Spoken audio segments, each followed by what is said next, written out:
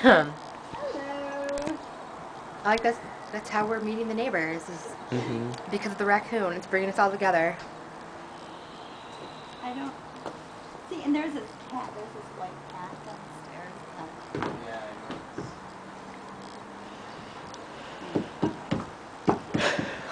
know. Or far less about. You let her in? Yeah, well, I mean, I'm not- why What buzz? is that? I don't know. Man, I don't know. Woodview Village tenant?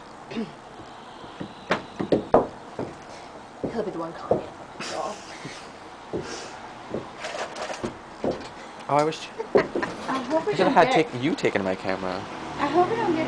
No. Oh, here's subject number two. Maybe no, not. they don't live They don't live here. They're in the 700. Did it all the buns over there? Did you put Oh, you the tossed them way over there. them over There's one stuck in the tree right here. Yeah, if he looked, is. he could find it, but I don't know if he's smart.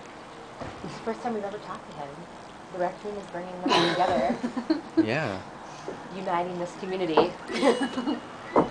Cooney. and it's running out the door. See? Mark named it Raccie. How clever. raccoon. yeah. That's a good name. My name's it Raccie. Raccie. Oh, come here, Raccie. That's a good name.